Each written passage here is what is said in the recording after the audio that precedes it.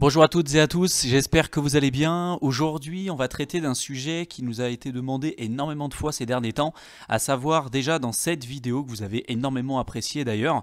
Euh, si vous aimez du coup ce genre de contenu, continuez hein, de le partager, ça, ça nous aide énormément à faire connaître la chaîne. Et à l'issue de cette vidéo, vous nous avez posé énormément de questions, surtout à propos des, des stablecoins. Donc on voulait vous faire une vidéo vraiment dédiée à ce sujet.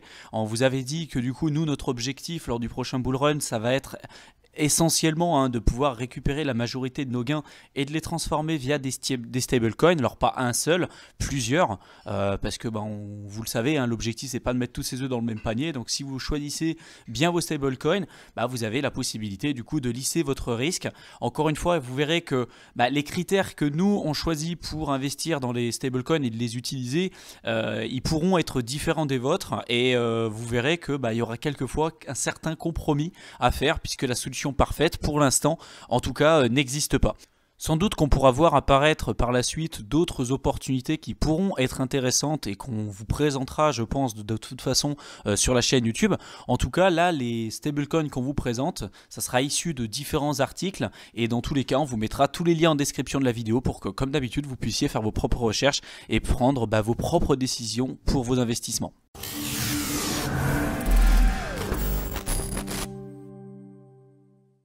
Pour ceux qui n'auront pas vu nos vidéos hein, qui traitent directement des stablecoins, on vous mettra tous les liens qu'il faut en description de la vidéo pour que vous puissiez vous mettre à jour.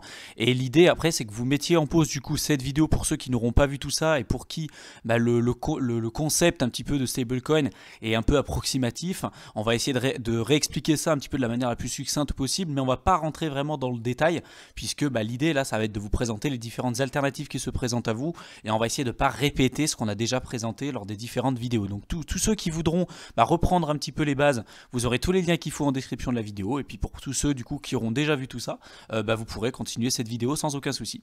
Donc pour ceux qui se souviennent pas trop trop pourquoi utiliser les stablecoins et à quoi ça peut servir, tout simplement ça vous permet dans le secteur des crypto-monnaies de protéger euh, votre investissement dans le cas d'une forte baisse notamment. Admettons par exemple que vous ayez investi 10 000 dollars dans le, dans le Bitcoin, qui monte par exemple, on va dire à 50 000, et que vous souhaitez bah, récupérer euh, vos gains ou du moins vous protéger en cas de baisse. Il y a plusieurs manières de, pouvoir se protéger en cas de baisse. Soit bah, vous transformez directement vos Bitcoins en fiat, donc en euros, dollars ou peu importe, et là, en fonction de l'environnement dans lequel vous allez être, si par exemple vous êtes en France, bah, vous allez être imposé sous le régime de la plus-value. Si par contre, votre objectif c'est de pouvoir pouvoir éventuellement protéger euh, votre investissement en cas de baisse et de pouvoir ensuite réutiliser ces cryptos-là pour racheter un petit peu plus bas, sans passer par du fiat, vous pouvez utiliser des, stablecoins. Et là, il y en a de toutes sortes. Il y a des stablecoins qui vont être indexés euh, directement via, euh, par exemple, le, euh, le, cours de différentes d'autres crypto-monnaies, hein. notamment c'est le cas de DAI. On en parlera un petit peu plus tard dans, cette vidéo. C'est l'un d'ailleurs des seuls stablecoins qui est aujourd'hui décentralisé.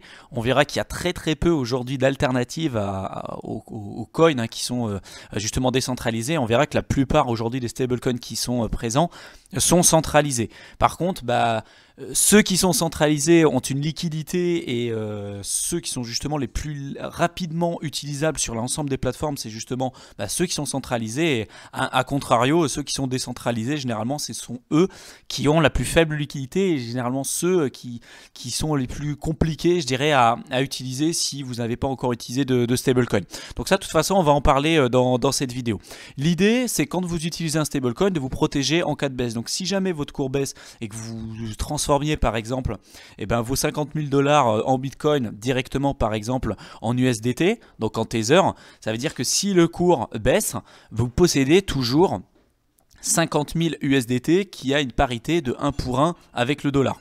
On verra que généralement, euh, pour la plupart des, crypto-monnaies, hein, des plupart des stablecoins, c'est indexé généralement au dollar. Donc un USDT, là par exemple pour le Tether, va être égal à 1 dollar. Donc si vous transformez 50, 50 000 dollars en équivalent Bitcoin en dollars, bah, du coup vous possédez 50 000 USDT. Et si le cours baisse, vous pourrez réutiliser vos USDT, vos Tether, pour racheter du Bitcoin un petit peu plus bas. Et l'idée là, c'est de rester finalement dans euh, le côté crypto-actif sans passer vers du, via du fiat. Parce que bah, si vous passez via du fiat, comme je vous l'ai dit tout à l'heure, vous êtes imposé. Donc il y a une utilité à les, utiliser justement déjà d'un point de vue euh, fiscal, mais également après d'un point de vue euh, facilité de, de transaction, parce que bah, ça peut être intéressant euh, pour ceux qui souhaitent un petit peu euh, diversifier leurs risques. Parce qu'il y a des crypto-monnaies, comme je vous dis tout à l'heure, des stablecoins qui sont indexés directement sur le dollar. Alors pour ceux qui veulent bah, essayer de s'extirper du, côté euh, bancaire, hein, parce qu'on sait qu'aujourd'hui les banques ne vont quand même pas très très bien.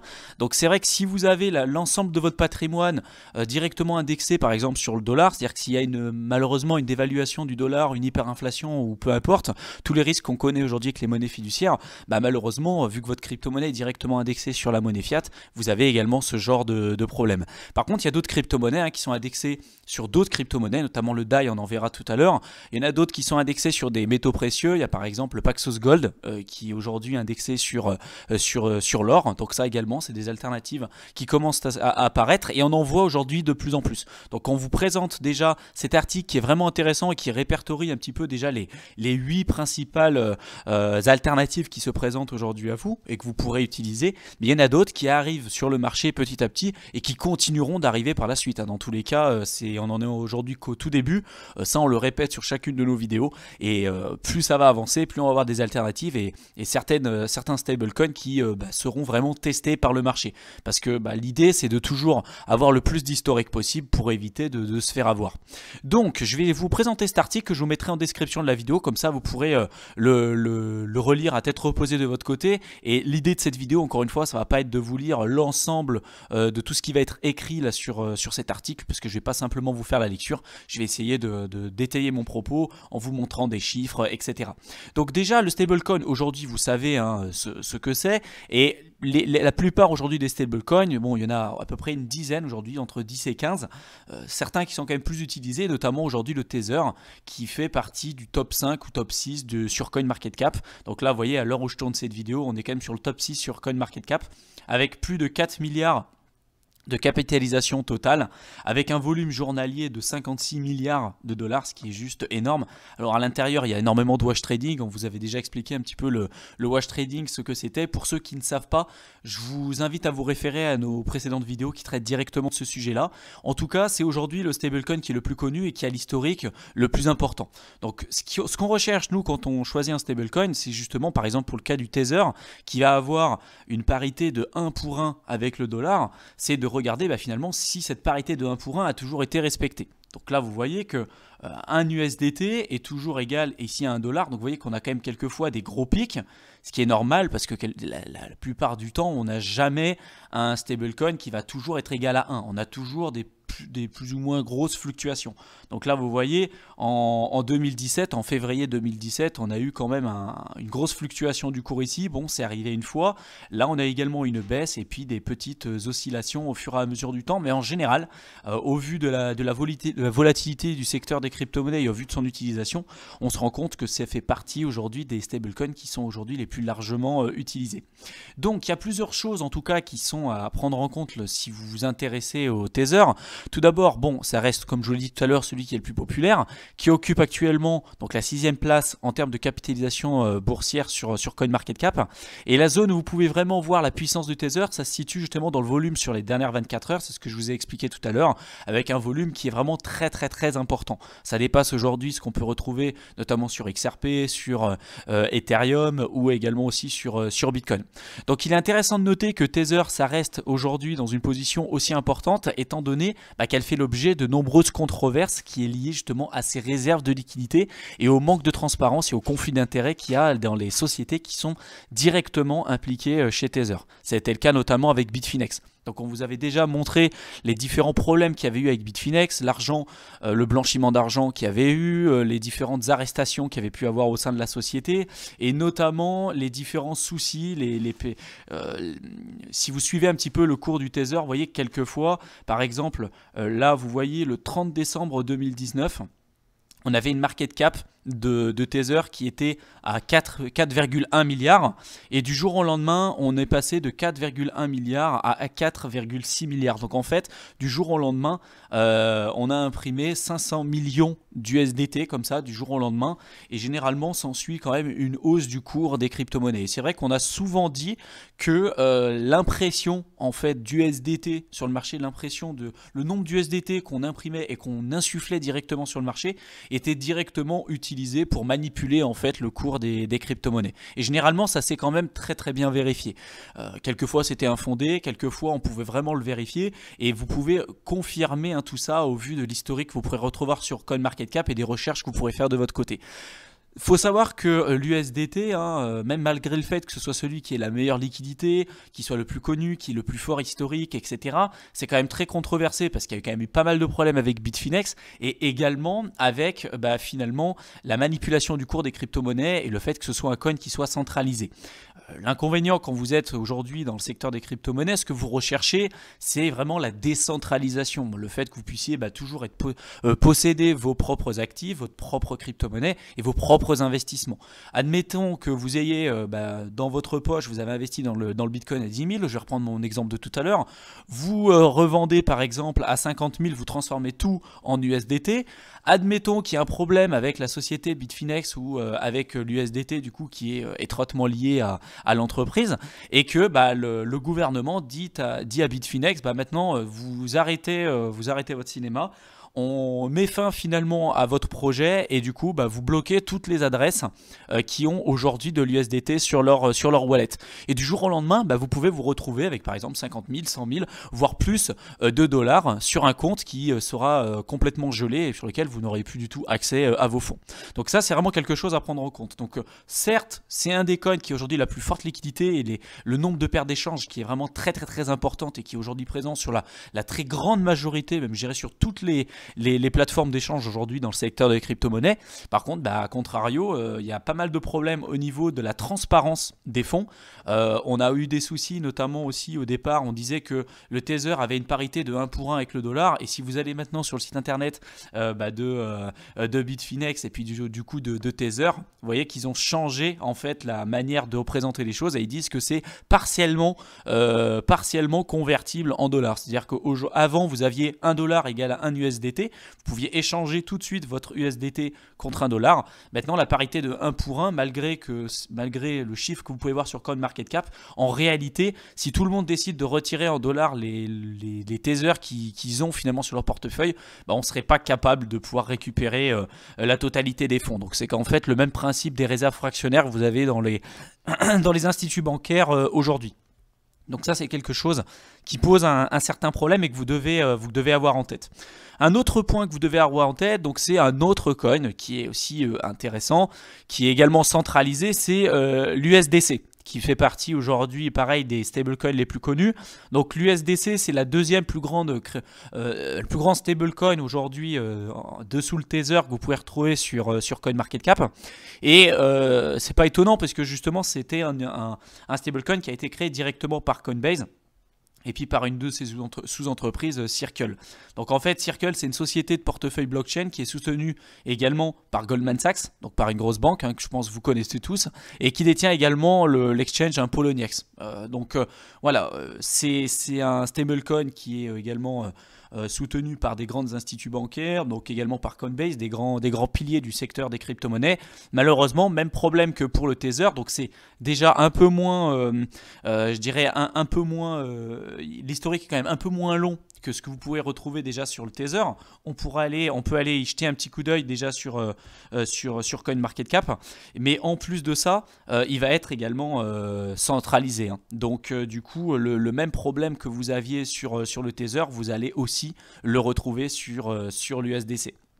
Donc ça, c'est un stablecoin euh, qui est là depuis un petit moment maintenant. Vous voyez déjà que l'historique est quand même beaucoup moins long que sur le Tether et la volatilité est importante. Alors après, c'est à prendre en compte cette volatilité par rapport également au, cours de la crypto-monnaie en général. Vous voyez que c'est toujours censé être plus ou moins 1 dollar. Là, vous voyez, on est à 1,01.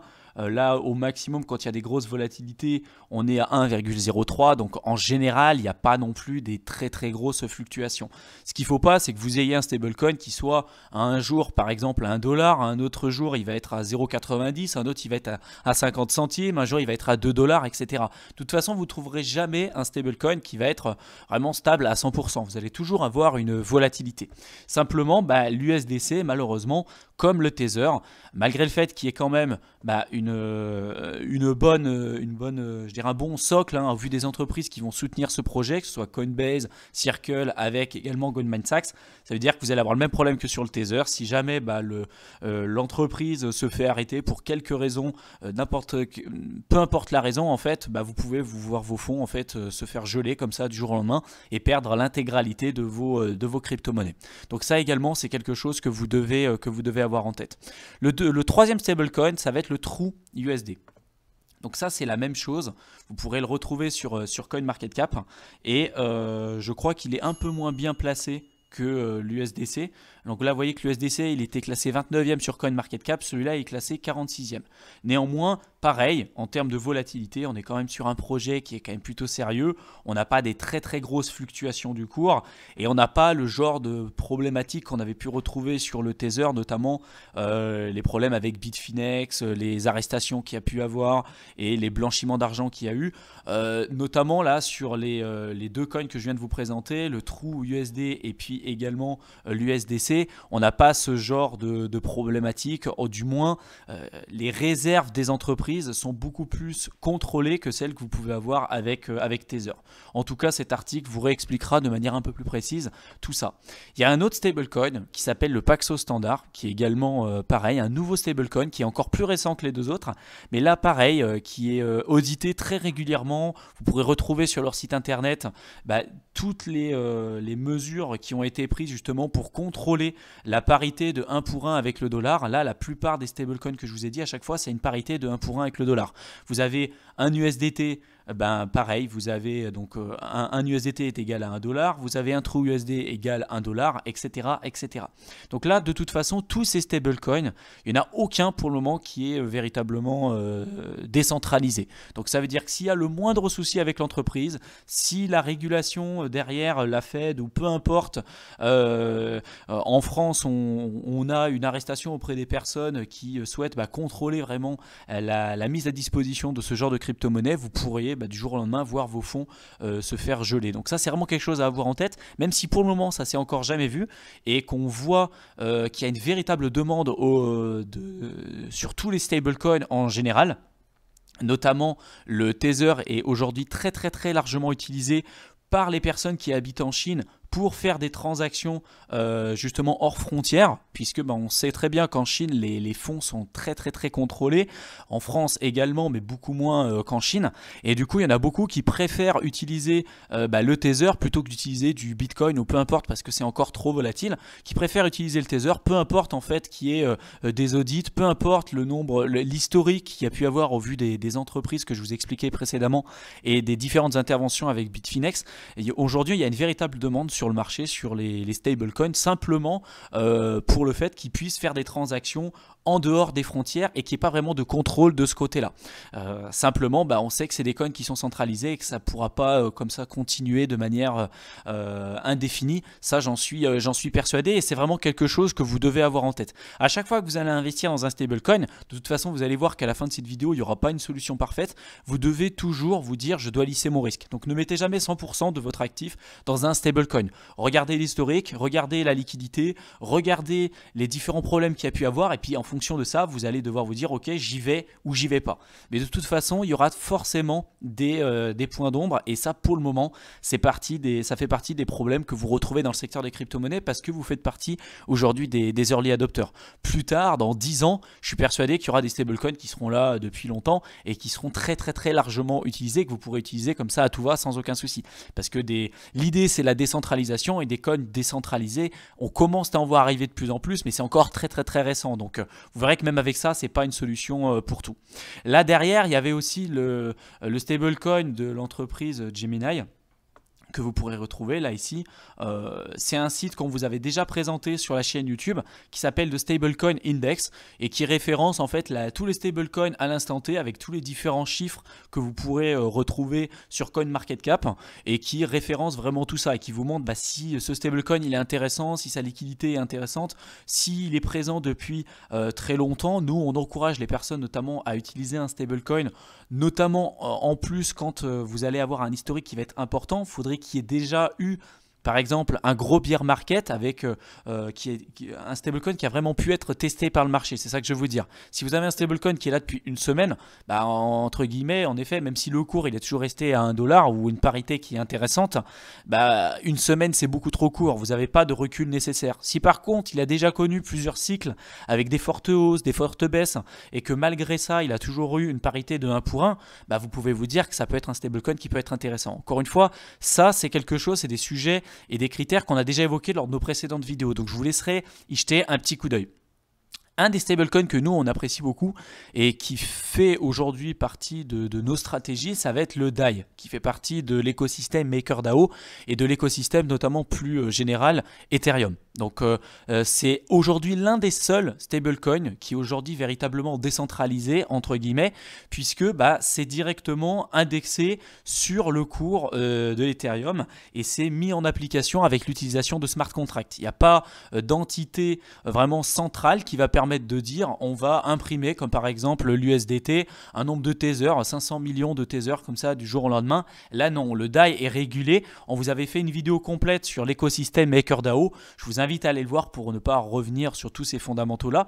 Si ça vous, si ça vous intéresse qu'on refasse une vidéo vraiment complète et euh, spécifique sur le stablecoin euh, DAI uniquement et sur vraiment l'écosystème MakerDAO qui a pas mal changé depuis, bah dites-le nous en commentaire de cette vidéo, on le fera avec plaisir. En tout cas, aujourd'hui, le stable stablecoin euh, DAI, c'est celui qui fait aujourd'hui partie de nos stratégies, puisque bah, au vu des différents inconvénients qu'on vous a déjà présentés, bah, c'est le seul aujourd'hui qui a un historique relativement long et qui est véritablement euh, Est-ce que ça veut dire que c'est une fin en soi? Absolument pas, parce que bah, vous allez avoir, vous allez gagner en décentralisation, par contre vous allez perdre en liquidité notamment. Vous allez absolument pas avoir la même liquidité, le même nombre de paires d'échanges sur les différents exchanges que vous allez pouvoir utiliser si vous utilisez le DAI ou si vous utilisez l'USD d'été. Et si derrière vous voulez transformer vos DAI directement en euros, pareil, il va y avoir un certain nombre de problèmes qui vont se porter à vous. Toutes les plateformes ne permettent pas ça. Quelquefois, vous allez devoir aller sur des plateformes qui sont relativement obscures pour pouvoir utiliser le DAI. Bon, notamment, il y a la plateforme Coinbase Pro qui vous permet de récupérer vos DAI directement euh, en euros. Donc ça, vous pourrez le faire.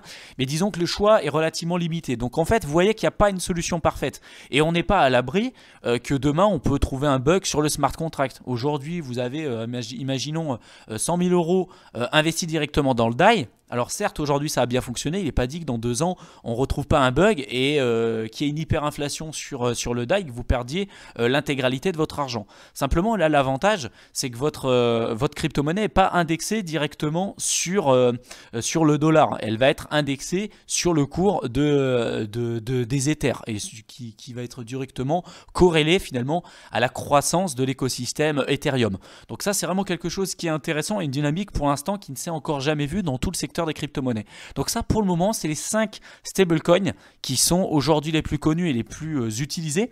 Donc il y en a d'autres qui vous sont présentés ici qui sont très peu connus et qui euh, pour nous ne sont pas vraiment intéressants à utiliser pour le moment parce que l'historique est encore trop faible. Après à vous de voir si ça vous intéresse d'aller plus loin et dans tous les cas comme je vous l'ai dit on vous mettra les liens en description de la vidéo pour que vous puissiez bah, creuser un petit peu de votre côté.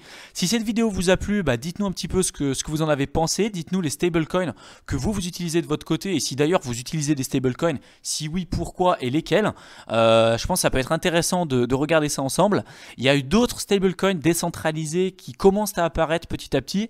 Dites-nous si ça vous intéresse qu'on vous fasse une vidéo complète sur les stablecoins décentralisés, même ceux qui viennent d'apparaître. Je pense que ça pourrait être intéressant, puisque nous, en tout cas, hein, dans nos propres investissements, ce qu'on recherche principalement, c'est la décentralisation. Voilà, euh, qu'on puisse euh, bah, garder sur un, hardware wallet type Ledger Nano S ou Nano X, peu importe, mais vraiment euh, au chaud nos crypto-monnaies et qu'on n'ait pas de mauvaises surprises comme ça du jour au lendemain. quelqu'un qui va nous dire bah, on a bloqué vos fonds, vous n'êtes pas capable de pouvoir les retirer, même si vous les avez sur un cold wallet, euh, si demain vous utilisez par exemple du Tether et que bah, il y a un, problème X ou Y, il est possible que même si vous l'ayez sur votre, euh, votre ledger, que les adresses soient blacklistées, que vous ne puissiez absolument plus rien faire. Et ça, c'est quelque chose qui est encore très peu connu hein, pour la majorité des personnes qui utilisent ce genre de stablecoin, mais ça peut arriver. Pour l'instant, c'est encore jamais arrivé, ça peut encore continuer comme ça pendant, pendant des années. On n'a pas une boule de cristal, mais c'est vraiment des risques qu'il faut que vous preniez en compte et qu'il faut bah, que vous voyez un petit peu comment vous voulez faire de votre côté. Nous, on pense que dans tous les cas, euh, l'idée c'est toujours de se diversifier. Vous pouvez prendre un petit peu de Tether, par exemple, pour avoir une bonne liquidité et transformer bah, vos crypto-monnaies directement en euros ou en dollars si derrière vous voulez bah, récupérer en fiat. Euh, si vous préférez avoir une bonne liquidité. Si derrière vous voulez hold par exemple sur le long terme, et prendre en compte les différents risques, que ce soit sur le dollar avec l'hyperinflation ou autre par exemple avec la décentralisation des, différents coins, notamment le DAI, euh, il y a peu de chances qu'on, qu'il, y ait un risque, par exemple, avec une entité centrale qui vienne essayer de blacklister certaines adresses, puisque là, l'idée de la, décentralisation, c'est justement ça, qu'on puisse pas euh, avoir ce genre de mauvaise surprise. Par contre, encore une fois, on n'est pas à l'abri d'un bug sur le smart contract ou peu importe. Donc, je vous invite du coup à nous donner un petit peu votre ressenti par rapport à tout ça. Si euh, cette vidéo vous a plu, laissez-nous un pouce bleu, comme d'habitude, partagez au maximum pour nous aider à nous faire connaître. Ça nous fera extrêmement plaisir. S'il y a d'autres sujets que vous aimeriez qu'on traite, dites-le nous en commentaire également de cette vidéo. Et puis, bah, pour tous ceux qui veulent aller plus loin avec nous, vous avez tous les liens qu'il faut en description de chacune de nos vidéos. Je vous souhaite une excellente fin de soirée et j'espère vous retrouver dans une prochaine vidéo. Salut